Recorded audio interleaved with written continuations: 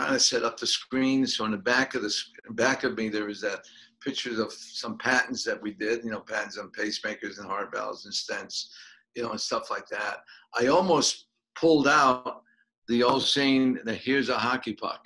Okay, in fact, it was a hockey puck. My daughter, when she was uh, Yeah. uh, playing hockey, and I was saying that pacemakers were bigger than hockey pucks. Uh, here's a here's a pacemaker, and uh, that's one. And here's a here's another one. This is a both of them are old Medtronic pacemakers.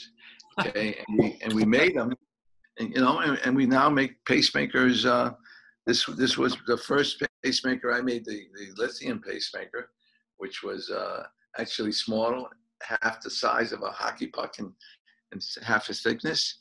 And and then I also had this pacemaker, which is the one that my surrogate father received, which is much much smaller. You know, Were both of those at cardiac?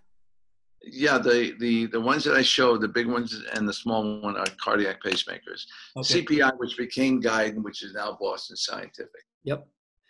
And I can actually do a screen grab off of what you just showed because we're still recording. So I can actually do a. Ah, you're still recording. I didn't know that. Ah, it's a good so, thing I didn't um, use any language. Well, okay. it's, not, it's not live, so that's good. Oh. But no, I can I can do a screen grab and okay. still uh, use that. That'd be great.